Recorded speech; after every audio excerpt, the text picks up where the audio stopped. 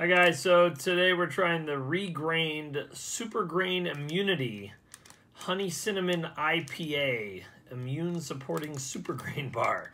A lot of words, a lot of words. Uh, eight grams of sugar is okay. Um, that's not bad. Five grams of fiber is all right. Four grams of protein is a little low, so this is probably more just like something to snack on, but um, let's check it out.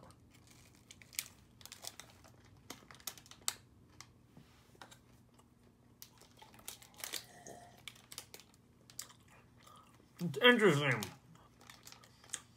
You have a little bit of the crunchies in there, which I like. We all know I like the crunchies. Um, but then the rest of it, this one's like a middle of the road bar. You could try it, see if you like it. Um, I can't say I love, love, love it.